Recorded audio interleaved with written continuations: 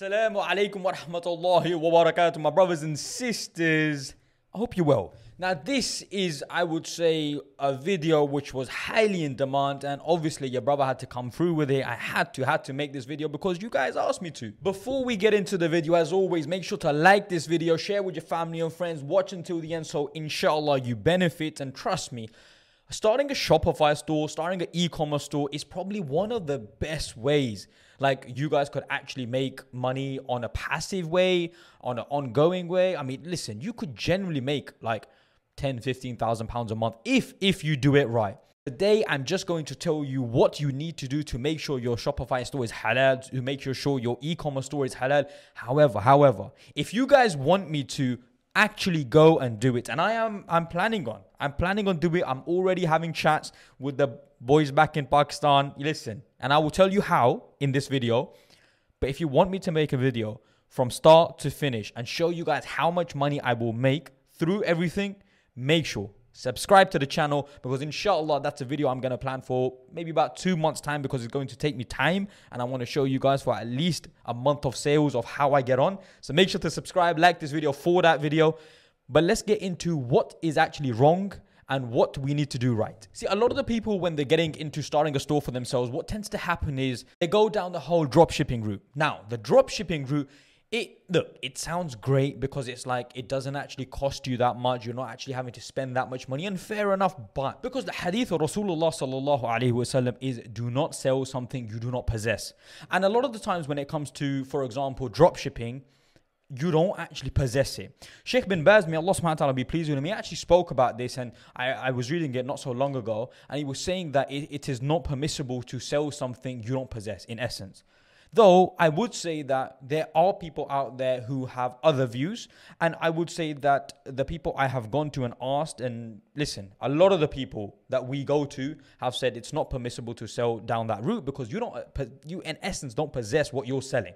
So how do you get around that? The truth is, my brothers and sisters, you have to go down, you have to go to the AliExpress guys, you have to go to your wholesalers, you have to buy the products outright. There are a lot of ways, by the way, where you could start small. You don't have to buy 20, 30 pound products, which are each you know, buying 10 of those is going to mean you have to put in two, 300 pounds. You can honestly find products through them, through the wholesalers where they're two or three pound. And where if you now buy a hundred of those, they'll do it for one pound 50 or two pound.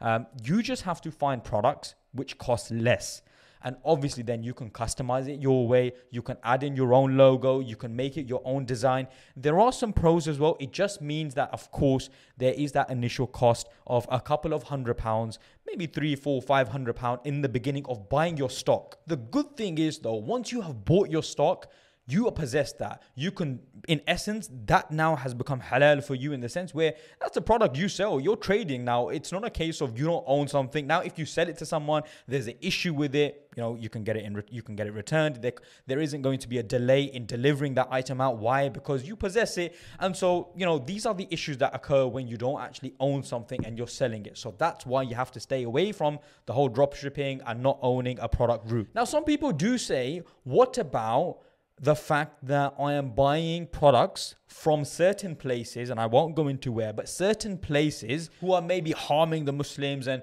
therefore they're affecting the deen and therefore they're affecting the Muslims. And this is a, a genuine uh, query that a lot of people have. A lot of people have messaged me about this, and this is again something I've looked into. Now, generically speaking, as a Muslim, you're completely it's completely permissible to do business with the Jews, with the you know Christians, with anyone else. Why? Because Rasulullah sallallahu alaihi wasallam and the companions they used to do business with the people of Medina, and so on that basis, it, there's no harm in doing business with people. Though, if you are now on war against um, like a country, etc., etc. Again, in this situation, there is some evidence. I spoke to someone of knowledge, and they said this is again also permissible because Rasulullah sallallahu alaihi wasallam.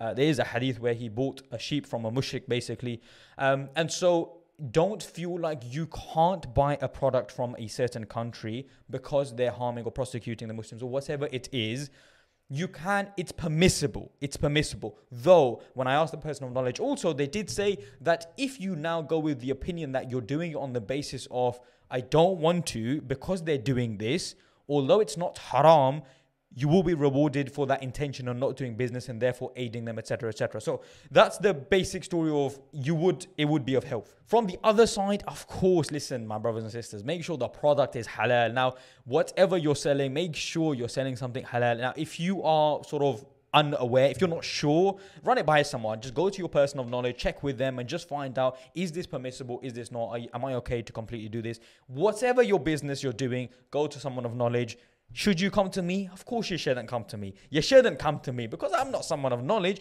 I have to also go to someone of knowledge. There are very, very basic questions that I could answer.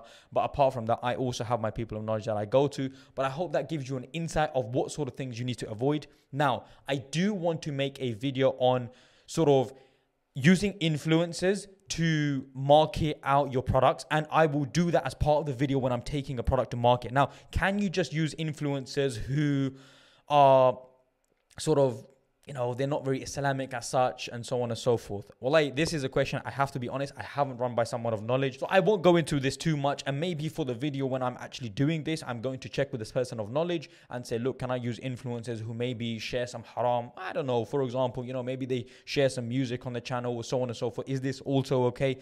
You know, maybe if someone of you guys, someone of knowledge, maybe is watching this, and you can maybe comment below and let me know on your thoughts. Then, of course, if if you are from the Quran and the Sunnah and it's beneficial for the people, please do share your opinion.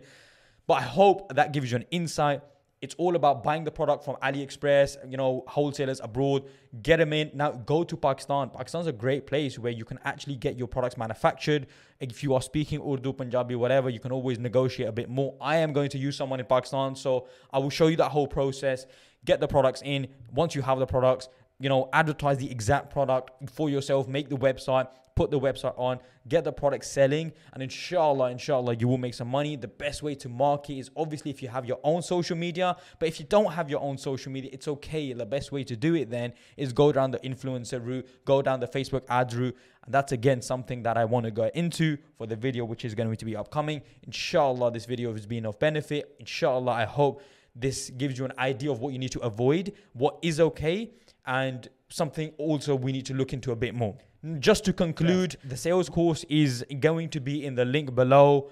I've left it there. Many of you guys have benefited. I've had some positive feedback. Wa jazakallah khairan for all of you guys that have purchased the course.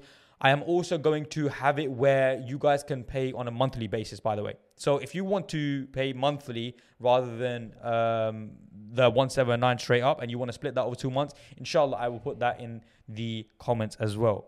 I hope, inshallah, these videos are benefiting you guys. Wa jazakallah khairan. May Allah subhanahu wa ta'ala benefit this channel for the Muslims and we benefit each other and support each other. Assalamu alaikum wa rahmatullahi wa barakatuh.